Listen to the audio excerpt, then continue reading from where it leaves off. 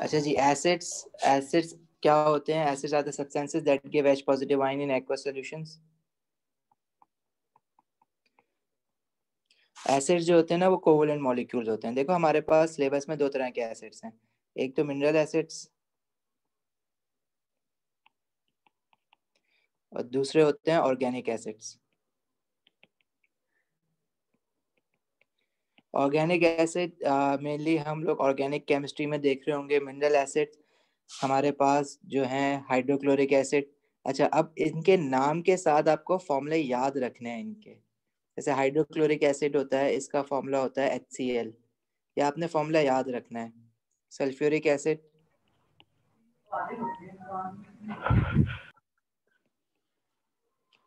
H two S O four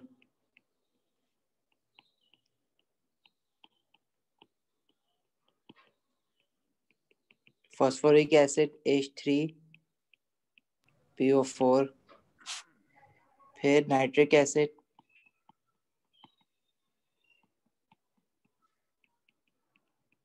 H N O three then we have carbonic acid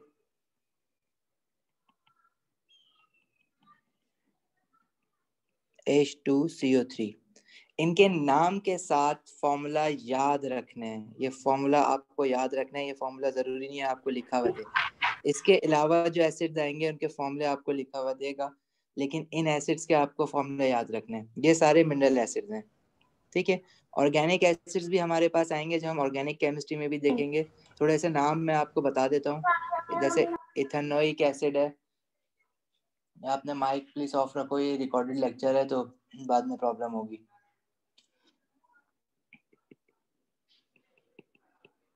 ethanoic acid होता है C H three C double O H इसी तरह और भी organic acid होंगे propanoic acid इनके आपको सारे नाम खुद ब खुद याद हो जाएँगे जब ऑर्गेनिक केमिस्ट्री पढ़ोगे। ठीक है तो इनका इतना इशू नहीं है ऑर्गेनिक एसिड का।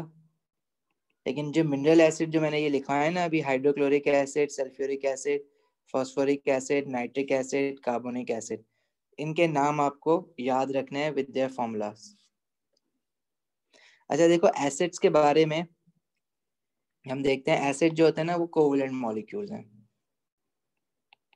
इनमें कोवलेंट बॉन्डिंग होती है। सिंपल कोवलेंट होते हैं। जब इन एसिड्स को हम वाटर में डिजोल्व करते हैं, जैसे एच है, इसको मैंने पानी में डाला तो वाटर में डिजोल्व होने पे ये क्या करता है? डिसोसिएट हो जाता है इनटू इट्स आइन इसको हम कहते हैं वाटर में जब डिजोल्व करेंगे इसको तो इट आयोनाइजेस या डिसोसिएट्स इनटू आइंस ये दो वर्ड यूज़ हम करते हैं। ठीक है? क्या दो वर्ड्स होते हैं? या तो हम कहेंगे कि डिसोसिएट हो गया। है डिसोसिएट इनटू आइंस या आयोनाइजेस इनटू आइंस आयोनाइजेस का मतलब यह है कि आयोनाइजेस आइंस में आयोनाइज्ड होगा ना वो? तो ये दो वर्ड हम लोग यूज़ करते हैं डिसोसिएट या आयोनाइजेस तो acid are the substances that dissociates into H positive ions. या ionizes to give H positive ions. वो मॉलिक्यूल जो पानी में डिजोल्व होने पे हमको H पॉजिटिव आइन देगा, वो कहलाता है एसिड सही है? जैसे सल्फ नाइट्रिक एसिड है एच एन ओ थ्री इसको वाटर में डालोगे तो ये बनेगा एच पॉजिटिव और इसके साथ जो एनाइन है वो है NO3 negative one. Similarly, sulfuric acid is H2SO4. इसको पानी में डालोगे तो यहाँ पे देखो सल्फ्यूरिक एसिड में हाइड्रोजन जो है ना वो टू है तो यहाँ पे H पॉजिटिव आइन जो आएगा वो two mole of H positive ion आएगा and one mole of sulphate anion SO4 two negative इसी तरह फॉस्फोरिक एसिड अगर है H3 PO4 उसको आप अगर वाटर में डालोगे तो ये three mole of H positive ion देगा, क्योंकि यहाँ पे देखो three H three P O four में, और one mole of phosphate anion देगा, जो कि थ्री नेगेटिव होता है। सिमिलरली कार्बोनिक एसिड को पानी में डालोगे एच टू कार्बोनिक एसिड होता है H two C O three इसको वाटर में डालोगे तो ये हमें two mole of H positive ion देगा। And one mole of carbonate anion देगा। तो ये क्या हो रहा है कि substances that dissociates into water to give H positive ion are known as acids definition सारी हैंडआउट में है।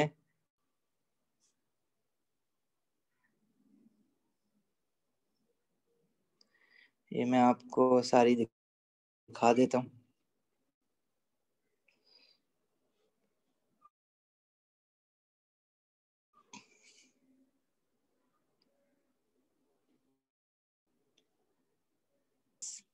That gives H positive ion in aqueous solution. Aqueous solution मतलब पानी में डालने पे H positive ion में डिसोसिएट होगा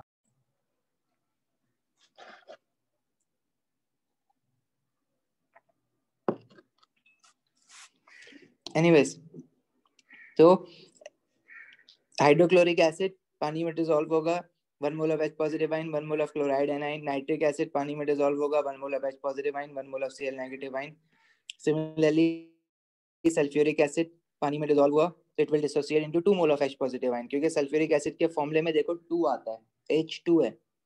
एनाइन हमेशा वन मोल ही रहेगा एसिड में से, बस एच पॉजिटिव आयन को देखना पड़ेगा कि वो क्या है, क्योंकि एनाइन के साथ हमेशा वन ही आएगा, क्योंकि एच पॉजिटिव वन ही होता है हमेशा। इसी तरह phosphoric acid H three P O four है, वो three moles of H positive ion देगा and one mole of phosphate anion carbonic acid dissociate होके ये बनाते हैं। अच्छा फिर ऑर्गेनिक एसिड जो होते हैं, जैसे इथेनोइक एसिड मैंने एग्ज़ाम्पल दी आपको तो इथेनोइक एसिड का जो हम फॉर्मूला लिखते हैं, वो ये लिखते हैं C H three C double O H ये वाटर में जब डिसोसिएट होगा तो it will liberate H positive ion अलग निकलेगा और बाकी जो एनाइन बचा रह जाएगा ना, इसके साथ C H three C double negative and H positive ion अच्छा अब इसमें से जो आखिर में सी डबल ओ एच के साथ हाइड्रोजन होता है ना, ये निकलता है। कार्बन के साथ जो हाइड्रोजन है, वो नहीं निकलते हैं।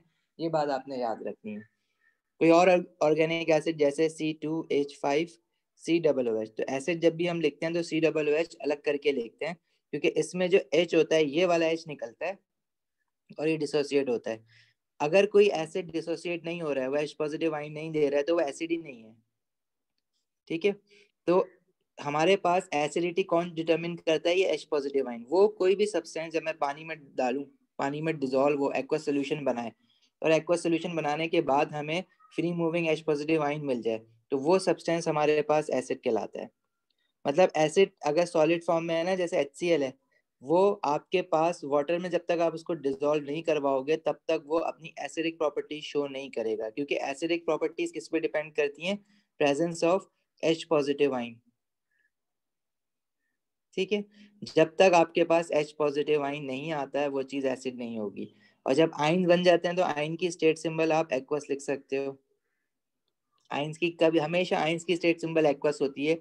आइन बनता ही कब है? जब आप किसी भी सब्सटेंस को पानी में डिजोल्व करो, वो into its respective ions dissociate हो जाता है। जैसे NaCl है सोडियम क्लोराइड इसको पानी में डालते थे तो क्या बनेगा? Na पॉजिटिव आइन डिजोल्व हो जाएगा ना? एंड NaCl नेगेटिव आइन ये डिसोसिएट तो हो रहा है, लेकिन ये एच पॉजिटिव आइन तो हमें कहीं नहीं दे रहा ना तो it is not an acid तो ऐसी चीज़ को हम कहते हैं, ये सॉल्ट है। और बाकी जो एच पॉजिटिव आइन दे रहे हैं, हमारे पास पानी में डिजोल्व होने पे वो एसिड्स कहलाते हैं। एसिड जो होते हैं, वो कोवलेंट कंपाउंड्स होते हैं, जैसे एच सी एल है, ये हाइड्रोजन है, और ग्रुप क्या कहते हैं सेवन है क्लोरीन तो ये कोवलेंट बॉन्डिंग करेगा, लेकिन एन जो है, ये आयनिक बॉन्डिंग करता है। हम लोगों ने बॉन्डिंग में देखा था, जब भी आयनिक बॉन्डिंग होती है तो आइंस बनते हैं पानी में, जो आयनिक कंपाउंड पानी में डिजोल्व होते हैं, वो आइंस देते हैं हमें। और उनको फिर हमने कहा था कि they are used as electrolytes electrolyte का क्या मतलब है कि अगर इनके पास फ्री आइंस हैं एक्वा सोल्यूशन में तो ये इलेक्ट्रिसिटी कंडक्ट कर सकते हैं। तो इलेक्ट्रिसिटी कंडक्शन के लिए हमारे पास क्या क्या होना ज़रूरी है? या तो फ्री इलेक्ट्रॉन्स हो या फ्री आइंस हो। हमेशा याद रखना, अगर इलेक्ट्रिकल कंडक्शन होनी है केमिस्ट्री के अंदर तो हमारे पास या तो फ्री इलेक्ट्रॉन्स होने चाहिए और फ्री इलेक्ट्रॉन्स या मोबाइल इलेक्ट्रॉन्स हमें किसमें मिलते हैं? मेटल्स में मिलते हैं। मेटल्स चाहे वो सॉलिड स्टेट में हो या मोल्टन स्टेट में हो मेटल्स में फ्री इलेक्ट्रॉन्स होते हैं। मेटल्स की मोल्टन स्टेट मतलब लिक्विड फ्री इलेक्ट्रॉन्स इनमें होते हैं तो मेटल जो है वो सॉलिड और लिक्विड दोनों में इलेक्ट्रिसिटी कंडक्ट करता है।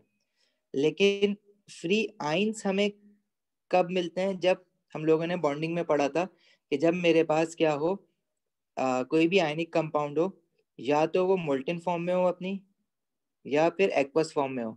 सॉलिड स्टेट में आयनिक कंपाउंड इलेक्ट्रिसिटी कंडक्ट नहीं कर सकता because ions are not free to move ions तो होते हैं but they are not free to move ionic compound electricity कब कंडक्ट करता है? जब वो अपनी एक्वा स्टेट में हो, यानी पानी में डिजोल्व हो, जैसे एन को पानी में डिजोल्व किया तो एन पॉजिटिव और सीएल नेगेटिव बना।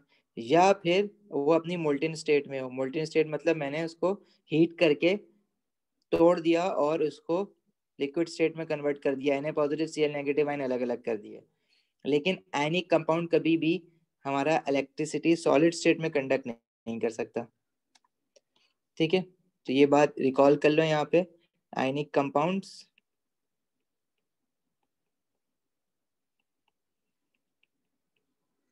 do not conduct electricity in solid state.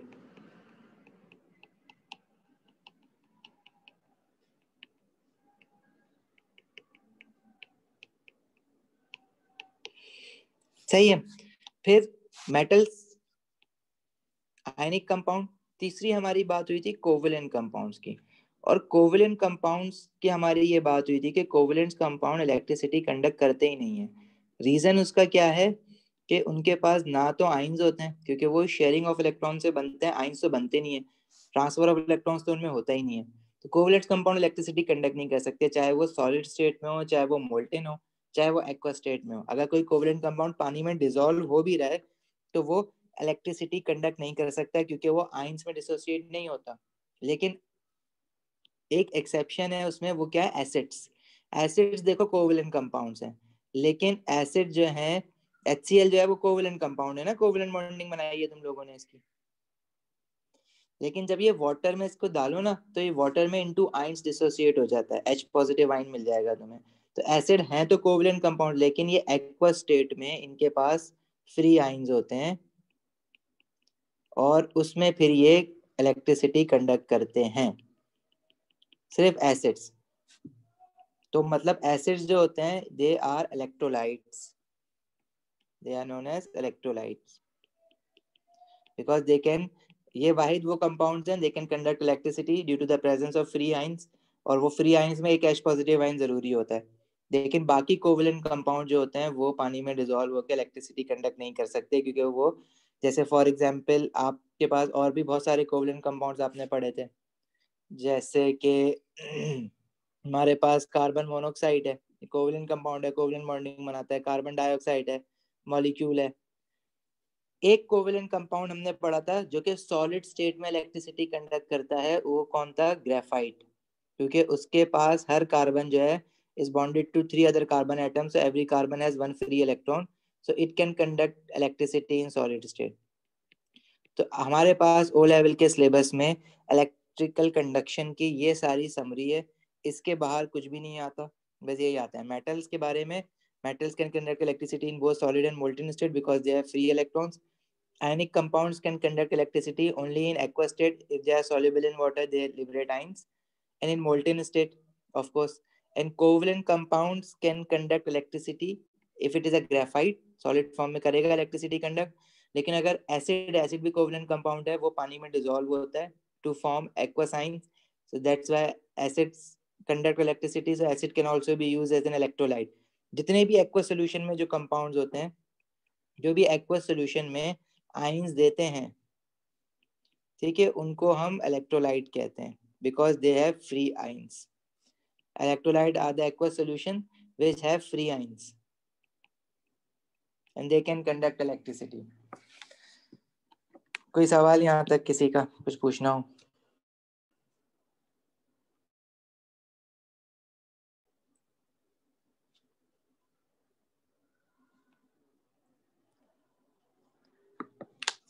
अच्छा देखो एसिड्स जो है वो बगैर पानी के अपनी एसिडिक प्रॉपर्टी शो नहीं कर सकते। अनलेस आप उसको वाटर में डिजोल्व ना कराओ, तब तक वो एसिडिक प्रॉपर्टी शो नहीं करेगा। जैसे एच है, पानी में जब तक एच पॉजिटिव आयन नहीं मिलेगा डिसोसिएशन और आयनाइजेशन नहीं होगी एसिड की, तब तक वो अपनी एसिडिक प्रॉपर्टी शो नहीं कर सकता। तो ये है the need for water in acids तो as in order for the acidic molecules to show acidity they need to be dissolve into water acids हमारे पास अब दो तरह के होते हैं strong acids and weak acids क्या फ़र्क होता है इनमें strong acids and weak acids में?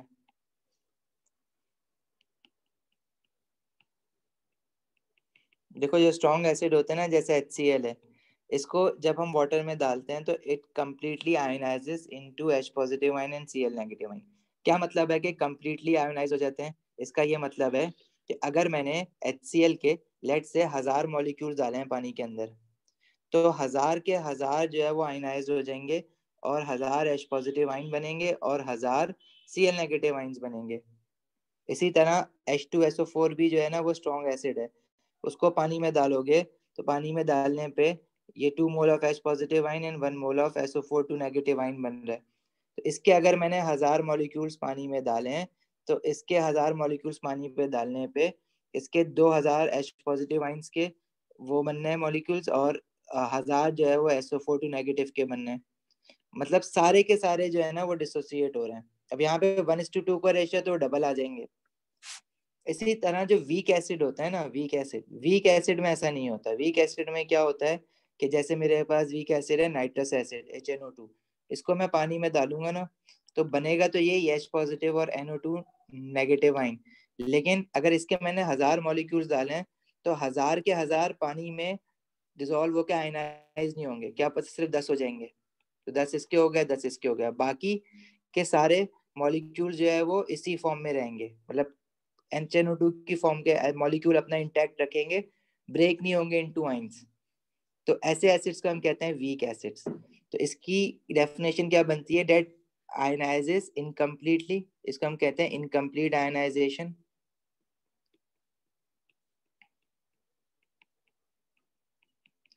इनकम्प्लीट आयनाइजेशन या इसको हम पार्शियल आयनाइजेशन भी कहते हैं. पार्शियल का मतलब भी इनकम्प्लीट होता है. सही है। और जो स्ट्रॉन्ग एसिड्स होते हैं दे आर कम्प्लीटली आयोनाइज तो जो वीक एसिड्स होते हैं इनकम्प्लीट आयनाइजेशन के लिए अक्सर इसके साथ जो है पास पेपर में आपको वो यूँ करके लिखता है। एच जो है, वो इस तरह का साइन बनाता है। इसका मतलब होता है कि ये रिवर्सिबल है रिएक्शन रिवर्सिबल मतलब कि ये पूरी तरह आगे नहीं गया है। कुछ प्रोडक्ट वापस रिएक्टेंट में भी कन्वर्ट हो सकता है। लेकिन जो हमारे पास स्ट्रॉन्ग एसिड होता है, वो कम्प्लीटली आयनाइज हो जाता है। तो उसका सिंबल जो है, हम वैसे ही बनाते हैं, जैसे बाकी रिएक्शन में बनाते हैं और इसको हम कहते हैं कि ये इरिवर्सिबल रिएक्शन है। इरिवर्सिबल मतलब ये वापस नहीं आ सकता। और जो वीक एसिड पानी में डालते हैं तो हमारे पास एक रिवर्सिबल रिएक्शन स्टैब्लिश होता है। ठीक है इक्विलिब्रियम के चैप्टर में इस सिंबल को हम और देखेंगे, मजीद कि इसका और क्या मतलब होता है। But for now you must know कि वीक एसिड आयनाइजेस इनकम्प्लीटली और partially in aqua solution whereas strong acid ionizes completely in aqueous solution weak acid के एग्ज़ाम्पल में इथेनोइक एसिड भी होता है C H three C double O H इसको पानी में डालोगे तो अगेन जितने मॉलिक्यूल डिसोसिएट होंगे, वो बनाएँगे तो ऐसे ही C H three C double O negative और एच पॉजिटिव लेकिन सारे के सारे मॉलिक्यूल डिसोसिएट नहीं होंगे। अगर हज़ार डालें तो यहाँ पे हज़ार नहीं, सिर्फ़ दस हुए हैं, दस दस हुए हैं। और ये जो C H three C double O negative ion होता है, इसको हम कहते हैं इथेनोएट आइन ठीक है? और ये बना किससे? इथेनोइक एसिड से।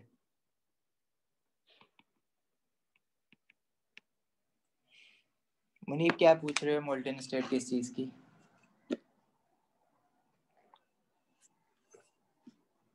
मोल्टेन लिक्विड को ही कहते हैं ना। अगर कोई आयनिक कंपाउंड है, उसको आप लिक्विड में दो तरीकों से कन्वर्ट कर सकते हो। तो हीट करोगे तो वो सॉलिड से लिक्विड में कन्वर्ट हो जाएगा। और दूसरा तरीका क्या है आइंस उसमें से निकालने का कि आप उसको पानी में डिजोल्व कर दो एक्वा सोल्यूशन बना लो। तो molten state is basically liquid state लेकिन उसको आप पानी में डिजोल्व नहीं कर रहे हो बल्कि आप हीट करके उसको मेल्ट कर रहे हो। जैसे आइस को मेल्ट करके हो लिक्विड वाटर बना लेते हो। ठीक है? सर रिवर्सिबल रिवर्सिबल की साइंस पता चलता है कि एसिड वीक है स्ट्रांग देखो जो वीक एसिड है, वो तो आपको पहली बात कुछ नाम याद रखने पड़ेंगे। लेकिन जब हम आयनाइजेशन दिखाते हैं ना स्ट्रॉन्ग एसिड्स की तो दिखाने का तरीका ये होता है कि आप सिर्फ़ एक लाइन डालोगे इरिवर्सिबल की। जैसे ये H C L strong acid है। लेकिन जो वीक एसिड होता है इथेनोइक एसिड तो उनकी डिसोसिएशन का तरीका ये होता है कि आप जो है ऐसे इरिवर्सिबल वाला सिंबल यूज़ करोगे। सही है?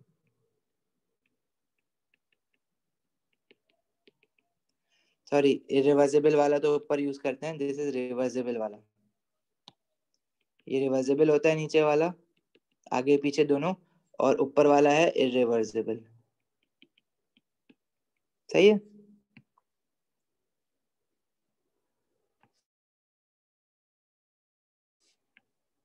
पूछ रहे थे। अच्छा प्रॉपर्टी अच्छा वीक एसिड और स्ट्रॉन्ग एसिड की डेफिनेशन याद कर लेना क्योंकि पूछता है weak acid are acid that ionizes partially और इनकम्प्लीटली इन एक्वस सॉल्यूशन और स्ट्रॉन्ग एसिड्स क्या होते हैं? Strong acid are the acid that ionizes completely in aqueous solution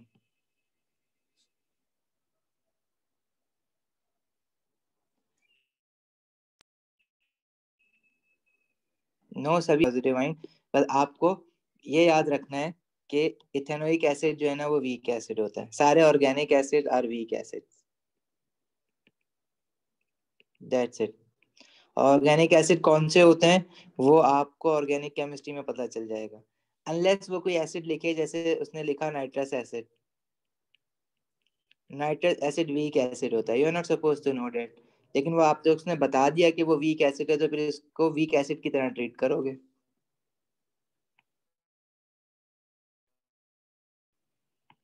अच्छा दूसरी चीज़ इथेनोइक एसिड जो होता है ना, वीक एसिड और स्ट्रॉन्ग एसिड स्ट्रॉन्ग एसिड जो होते हैं ना, वो यूजली हमारे पास उनका इंडस्ट्रियल जगहों पे यूज़ होता है। और कार्बोनिक एसिड जैसे है ना H two C O three तो ये जो है ना, बस समझ लो, इसको ना कभी ये स्ट्रॉन्ग एंड वीक दोनों में आ रहा होता है। ये इतना बहुत ज़्यादा स्ट्रॉन्ग नहीं होता। और ये बिल्कुल भी वीक नहीं मतलब बिल्कुल वीक भी नहीं होता। मतलब समझ लो बॉर्डर पे आ रहा होता है दोनों के। Carbonic acid okay carbonic acid हमें मिलता है सॉफ्ट ड्रिंक्स में। जैसे कोक होती है ना, उसमें मिलेगा कार्बोनिक एसिड कोक को आपने पानी, जो कोक में जो है ना कार्बोनिक एसिड होता है, जब आप इसको क्या कहते हैं खोलते हो तो ये इक्लिब्रिया जो है, वो शिफ्ट होता है एच पॉजिटिव आइन और CO three two negative ion की तरफ़।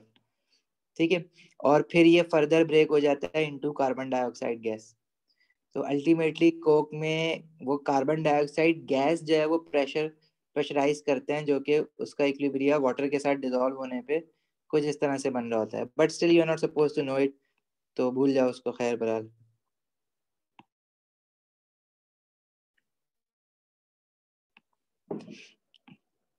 प्रॉपर्टीज़ ऑफ़ एसिड क्या होती हैं?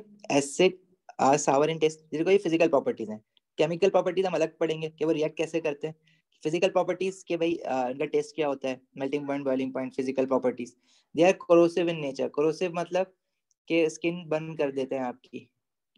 अगर स्किन पे गिर जाए एसिड तो बंद कर देते हैं, जला देते हैं skin you know it very well acid are sour in taste जैसे सावर का मतलब समझ लो, जैसे इथेनोइक एसिड पता है कहाँ होता है नेचुरली ये हमें मिलता है लेमन्स में।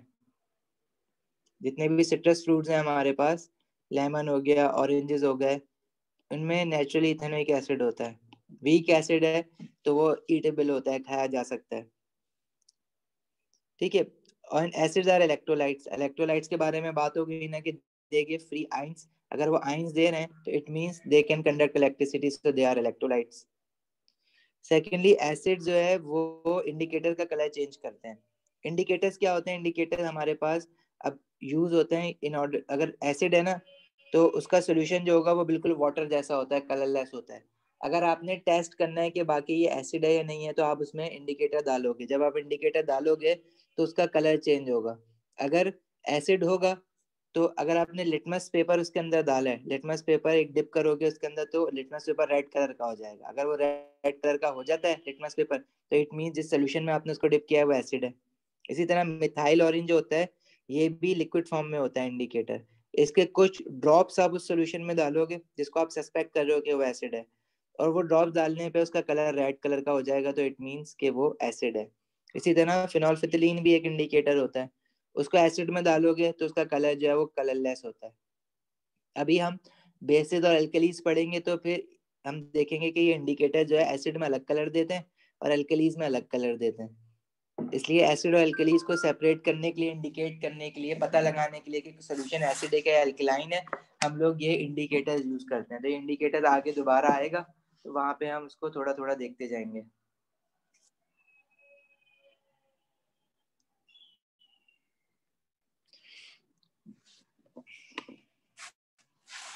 अच्छा बेसिसिटी ऑफ़ एसिड्स क्या होता है कि एसिड पानी में डिजोल्व होने पे वन मोल ऑफ़ एसिड अगर आप पानी में डिजोल्व कर रहे हो तो वो कितने मोल ऑफ़ एच पॉजिटिव आइन दे रहा है। जैसे एच आपने देखा कि वो वन मोल ही दे रहा है क्योंकि इसके फॉर्मूले में यहाँ पे वन है। नाइट्रिक एसिड वन देगा क्योंकि इसके फॉर्मूले में वन है। इथेनोइक एसिड वन देगा क्योंकि ये वाला एच पॉजिटिव आइन निकलेगा ना एच वन के। तो ये भी हमारे पास वन मोल ही देगा। तो ऐसे जो एसिड होते हैं, उनको हम कहते हैं मोनोबेसिक एसिड्स सही है? अच्छा डाइबेसिक एसिड्स कौन से होते हैं जो का वन मोल आप एसिड का पानी में डिसॉल्व करो और two mole of H positive आएँगे? Those are known as dibasic acids. और ट्राइबेसिक एसिड्स कौन से होते हैं जिनका वन मोल आप पानी में डिसॉल्व करो और three mole of H positive आएँगे?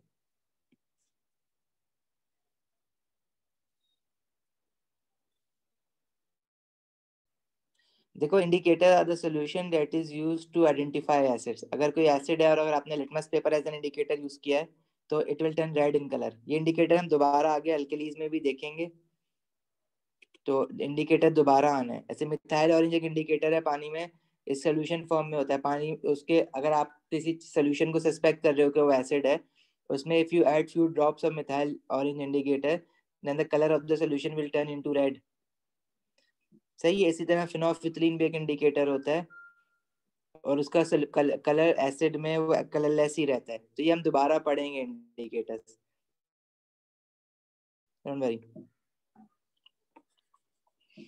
now the important part is the reaction of acids chemical reaction acid जो है वो केमिकली रिएक्ट कैसे करता है? किस किस चीज़ के साथ रिएक्ट करता है? और रिएक्ट करने पे क्या प्रोडक्ट बनाता है?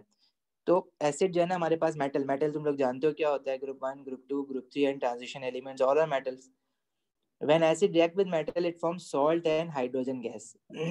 जैसे HCl है हाइड्रोक्लोरिक एसिड आपने सोडियम मेटल के साथ रिएक्ट कराया it will produce salt NaCl and hydrogen gas H2 इस इक्वेशन को बैलेंस करने के लिए देखो बैलेंसिंग यूजुअली फ्रैक्शन में आप लोग करते नहीं हो, लेकिन मैं आपको बताता हूँ कि HCl अगर सोडियम मेटल के साथ रिएक्ट करेगा तो it will produce NaCl salt and hydrogen gas अब इसको बैलेंस करने के लिए देखो हमारे पास हमें लेफ़्ट साइड पे और राइट साइड पे नंबर ऑफ़ एटम्स बराबर करने तो लेफ़्ट साइड पे हाइड्रोजन अगर मैं देखूँ वन है सी एल वन है राइट साइड पे सी एल वन है एन ए लेफ़्ट साइड पे वन है एन ए राइट साइड पे भी वन है। सिर्फ़ एक हाइड्रोजन का मसला है हाइड्रोजन लेफ़्ट पे जो है वो वन है और राइट पे जो है वो टू है। तो इस टू को वन बनाने के लिए मैं इस हाइड्रोजन को हाफ़ से मल्टीप्लाई कर सकता हूँ ना। तो वो one over two multiply by two one बन जाएगा। तो हम ऐसे भी बैलेंसिंग कर सकते हैं। वरना यूजुअली लोग जो है ज़्यादातर ऐसे बैलेंस करते हैं। N A C L H two तो क्या करते हैं कि पहले इस हाइड्रोजन को टू बना लेते हैं लेफ़्ट वाले। जब हाइड्रोजन को टू करते हो तो सी एल भी टू हो जाता है। तो राइट पे भी जाके वो मल्टीप्लाई बाय टू करते हैं। तो वहाँ पे जब सी एल टू हो जाता है तो उसका एन ए भी टू हो जाता है। फिर वो लेफ़्ट पे दोबारा एन ए को मल्टीप्लाई करते हैं। यहाँ पे तीन बार नंबर लिखना पड़ेगा। पहली वाली बैलेंसिंग में आपने सिर्फ़ एक ही नंबर लिखना है। तो फ्रैक्शन में भी बैलेंसिंग हो सकती है, ये भी मोल्स को ही रिप्रेजेंट कर रहा है। This is half mole of hydrogen gas इस लाइन को मैं कैसे बोलूँगा कि one mole of H C L combines with one mole of sodium metal to produce one mole of sodium chloride salt and half mole of hydrogen gas. अगर आप उसको यूँ कह दो, सबको डबल डबल कर दो two mole of H C L reacts with 2 mole of sodium metal to produce 2 mole of sodium chloride salt and 1 mole of hydrogen gas. तो एक ही बात है, ठीक है?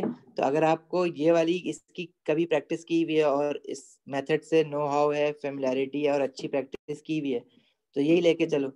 अगर वन वाला में अगर नहीं करी हुई है बैलेंसिंग कभी पहले तो इट्स बेटर कि आप ऐसे बैलेंस करो जो जल्दी हो जाए। ठीक है कोई सवाल किसी का यहाँ तक? नो सर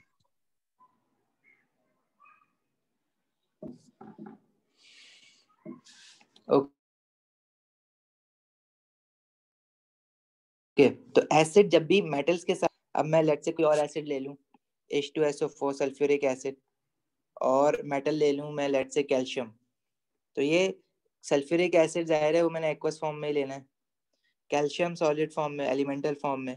रिएक्ट करके जो सॉल्ट बनाएगा कैल्शियम सल्फेट कैल्शियम सल्फेट इसलिए क्योंकि सल्फेट एनाइन का चार्ज होता है टू नेगेटिव ये आपको याद होना चाहिए from element mixture and compound at we studied calcium जो होता है, वो टू पॉजिटिव बनाता है। तो इसका फॉर्मूला क्या बनेगा? C A S O four और hydrogen gas now if you need to balance it if you need to then आप बैलेंस करो इसको। और लेकिन अगर इसको और से देखो तो इसमें बैलेंसिंग की ज़रूरत ही नहीं है। जितने लेफ़्ट साइड पे आइटम्स हैं, उतने राइट साइड पर भी हैं। इसी तरह मैं लेट से ले लूँ nitric acid H N O three reacting with magnesium ठीक है? तो it will produce salt magnesium nitrate अब नाइट्रेट मुझे पता है माइनस वन होता है। NO three minus one magnesium group two का है प्लस टू बनता है। तो इसका फॉर्मूला क्या बनेगा? एम जी एनओ थ्री और टू एंड हाइड्रोजन गैस। अब इसको बैलेंस करने के लिए अगर आप यहाँ पे हाफ़ लगा देते हो तो डेट इज़ नॉट इनफ, क्योंकि नाइट्रेट भी जो है वो भी तो डबल हो रहा है ना। तो इट्स बेटर कि यहाँ पे टू लगाओ। यहाँ टू लगाओगे तो ये एनओ थ्री भी पूरा का पूरा टू हो जाएगा और हाइड्रोजन भी टू हो जाएगा। तो यहाँ पे टू लगाने से इसकी बैलेंसिंग कंप्लीट हो जाएगी। तो बैलेंसिंग की थोड़ी प्रैक्टिस करनी पड़ेगी, जो भी इक्वेशन बनाओगे, उसकी पहले बैलेंसिंग प्रैक्टिस करना। दो चार करोगे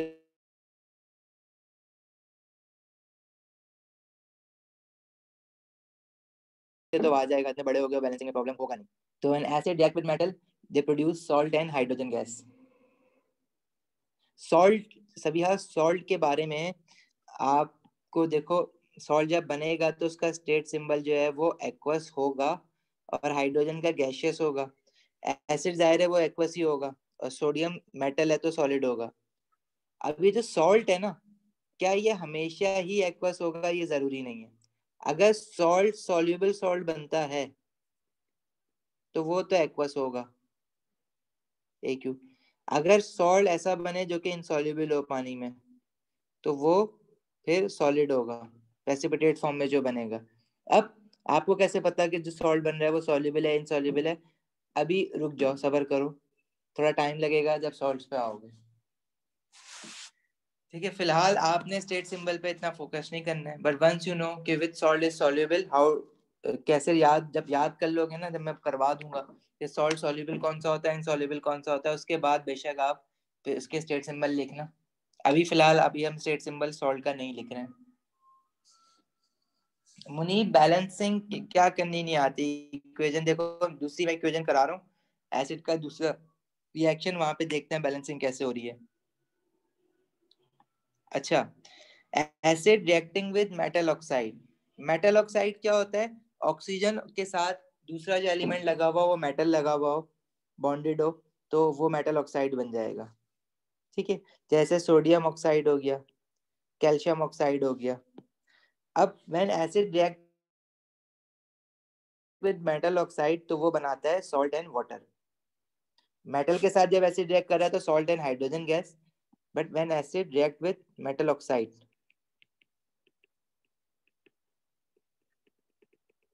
It produces salt and water. अब मेटल ऑक्साइड देखो क्या क्या हो सकती हैं। ग्रुप वन का कोई एलिमेंट लो जैसे लिथियम तो वो जो बनाएगा लिथियम प्लस वन होता है ऑक्सीजन माइनस टू होता है तो वो बना लेगा lithium oxide L I two O इसी तरह सोडियम ऑक्साइड जो बनेगी, वो क्या बनेगी? Na2O इसी तरह potassium mine plus one group one का ये ऑक्सीजन माइनस टू ये बनेगा के टू ओ इसी तरह, ये ग्रुप वन के मेटल है। ग्रुप टू के साथ भी बनाता है मेटल ऑक्साइड जैसे मैग्नीशियम है M G plus two oxygen minus two ये क्या बनेगा? एम जी ओ कैल्शियम है टू पॉजिटिव ऑक्सीजन है नेगेटिव टू तो ये क्या बनेगा? सी ए ओ इसी तरह बेरियम है B A two positive oxygen है नेगेटिव टू तो ये बनेगा B A O barium oxide इसी तरह ग्रुप थ्री के साथ भी ग्रुप थ्री ट्रांजिशन एलिमेंट जो होते हैं, वो भी बनाते हैं. ग्रुप थ्री भी बनाता है। ग्रुप थ्री में जैसे एल्यूमिनियम है, प्लस थ्री होता है ग्रुप थ्री का चार्ज, ऑक्सीजन माइनस टू। ये बना देगा A L two O three. इसी तरह जो ट्रांजिशन एलिमेंट्स हैं, वो भी मेटल्स होते हैं। मेटल ऑक्साइड है ना तो सारे मेटल के साथ देख लो। जैसे कॉपर टू ऑक्साइड अगर वो कह रहा है तो इट मींस कॉपर का चार्ज जो है वो प्लस टू है। एलिमेंट मिक्सचर एंड कंपाउंड में हमें देखा था ना, अगर रोमन में टू ऐसे लिखा हुआ है तो it means plus two oxygen is minus two तो ये बना लेगा सी यू ओ इसी तरह आयरन थ्री ऑक्साइड अगर वो तुमसे कह रहा है आयरन थ्री ऑक्साइड का क्या मतलब है कि जो आयरन है, उसका जो चार्ज है वो है प्लस थ्री ऑक्सीजन है माइनस टू तो ये क्या बना लेगा? F E two O three तो ये सारी की सारी मेटल ऑक्साइड्स हैं। ठीक है? मेटल ऑक्साइड का एक और नाम होता है बेसिक ऑक्साइड अब उनको क्यों बेसिक ऑक्साइड कहते हैं? उसका रीजन ये है कि एसिड के साथ रिएक्ट करती है। जो भी चीज़ एसिड के साथ रिएक्ट करती है ना, उसको बेस कहते हैं। अब ये ऑक्साइड है तो उनको बेसिक ऑक्साइड कहते हैं। ये आगे अभी हमें थोड़ा सा आगे पढ़ेंगे ना, पता चल जाएगा। तो acid react with metal oxide to produce salt and water यहाँ तक कुछ पूछना है किसी को? नहीं तो हम इसका रिएक्शन देखते हैं। देखो, मेरे पास एसिड है एच मैंने ऑक्साइड ली सोडियम ऑक्साइड एन ये बनाएगी सॉल्ट देखो सॉल्ट कैसे बनेगा? एसिड का जो एनाइन है ये कैटाइन एच पॉजिटिव है ना इसमें? और दूसरी वाली चीज़ जो है वो ज़ाहिर है एनाइन है। एसिड का एनाइन निकलेगा और ऑक्साइड का जो है वो कैटाइन निकलेगा। N A positive C L negative और ये सॉल्ट कौन सा बना लेंगे? एन और साथ में एक प्रोडक्ट बनेगा वाटर अब आपने इसकी बैलेंसिंग कैसे करनी है, मुनीब, सुनो। लेफ़्ट साइड पे देखो तो हाइड्रोजन हमारे पास वन है। सी एल हमारे पास वन है सोडियम हमारे पास टू है और ऑक्सीजन हमारे पास वन है। राइट साइड पे देखो तो हाइड्रोजन हमारे पास टू है सी एल हमारे पास वन है एन ए जो है वो वन है और ऑक्सीजन जो है वो भी वन है। अब ये बैलेंस नहीं है, क्योंकि हाइड्रोजन वन है या टू है, ये इक्वल इक्वल होने चाहिए। तो अगर मैं लेफ़्ट साइड पे हाइड्रोजन पहले बैलेंस करने जाऊँ तो मैं यहाँ पे टू लगा दूँगा। तो मेरा हाइड्रोजन जो है वो कितना हो जाएगा? टू लेकिन सिर्फ़ एच के साथ टू लगा है ना तो हाइड्रोजन के अलावा सी एल भी टू हो जाएगा। सही है? अच्छा अब मैं राइट पे देखूँ तो हाइड्रोजन तो टू था चलो टू हो गया। सीएल जो था वो वन था। कौन सा चैप्टर रेहान अली रजा। ठीक है water hydroxides when metal react with OH negative तो कंबाइन विद OH नेगेटिव तो सोडियम हाइड्रोक्साइड ऐसे बना मैग्नीशियम हाइड्रोक्साइड ऐसे बना। ठीक है? ग्रुप थ्री का कोई एल्यूमिनियम OH नेगेटिव तो ये क्या बना लेगा? एल्यूमिनियम हाइड्रोक्साइड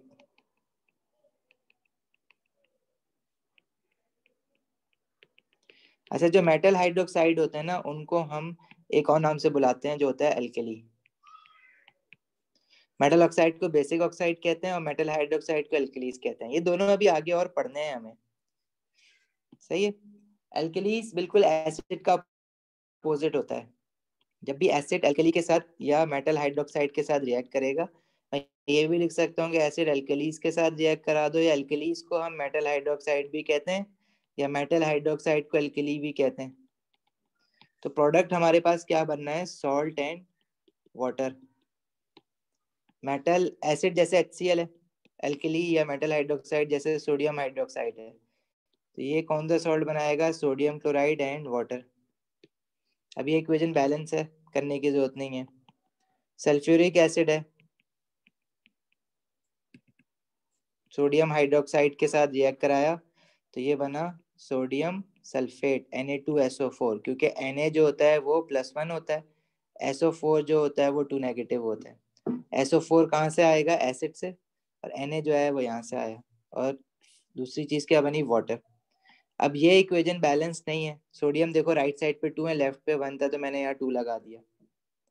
यहाँ टू लगा दोगे तो ऑक्सीजन भी बढ़ जाएगा। टू यहाँ पे हो जाएगा ऑक्सीजन और फोर यहाँ पे ऑलरेडी है सिक्स राइट साइड पे ऑक्सीजन देखो फोर यहाँ पे है और यहाँ पे वन है।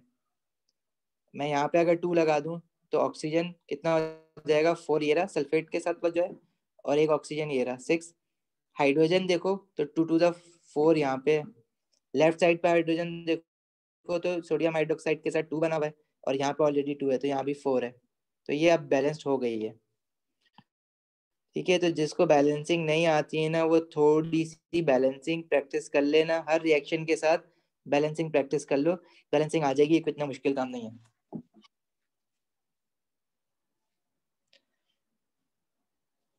अच्छा जी। इसके अलावा एसिड का एक और रिएक्शन भी है।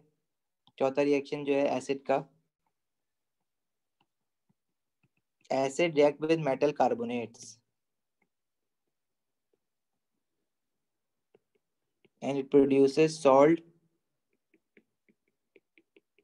water and carbon dioxide सही है? अच्छा जैसे कि एच है मेटल कार्बोनेट क्या होता है? हाँ कार्बोनेट एनाइन जो होता है, ये होता है C O three two negative अब इसके साथ कोई भी मेटल लग जाए तो वो कहलाएगा मेटल कार्बोनेट जैसे सोडियम कार्बोनेट बनाना है तो N A positive C O three two negative तो ये क्या बन जाएगा? N A two C O three sodium carbonate magnesium carbonate बनाना है M G plus two C O three two negative तो ये क्या बन जाएगा? M G C O three calcium carbonate बनाना है C A two positive C O three two negative तो ये क्या बन जाएगा? C A C O three इसी तरह एच सी एल को मैंने अगर लेट से रिएक्ट कराया कैल्शियम कार्बोनेट के साथ तो ये सॉल्ट क्या बनेगा? एसिड से क्या आएगा? एनाइन और कैटाइन आ जाएगा कार्बोनेट से. तो ये सॉल्ट बन जाएगा calcium chloride water and carbon dioxide gas अब इस इक्वेशन को बैलेंस करने के लिए देखो सी एल राइट पे टू है लेफ़्ट पे टू करने के लिए मैंने मल्टीप्लाई बाय टू कर दिया। हाइड्रोजन देखो लेफ़्ट पे टू हो गए। राइट पे जो हाइड्रोजन है, वो ऑलरेडी टू था। ऑक्सीजन जो है, वो लेफ़्ट पे थ्री है। राइट पे ऑक्सीजन एक ऑक्सीजन ये रहा वाटर के साथ दो ये रहे तो वो भी तीन है। तो ये इक्वेशन बैलेंस हो गई है एच के साथ टू लगाने पे। सही है?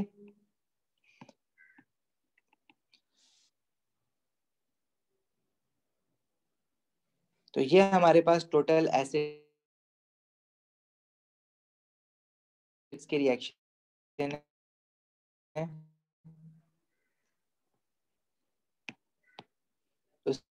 उसके बाद कुछ यूजेज ऑफ़ एसिड्स हैं, वो देख लेना। और इस हैंड आउट में जितने भी रिएक्शन दिए हुए ना, वो रिएक्शन की इक्वेशन लिख के बैलेंसिंग खुद से प्रैक्टिस कर लेना, जिसको बैलेंसिंग नहीं आती है। और यूजेज ऑफ़ एसेट्स थोड़े पढ़ लेना, याद कर लेना, ठीक है? बस ये याद होने चाहिए कि क्या यूजेज होते हैं दैट्स इट इससे आगे कुछ नहीं है। तो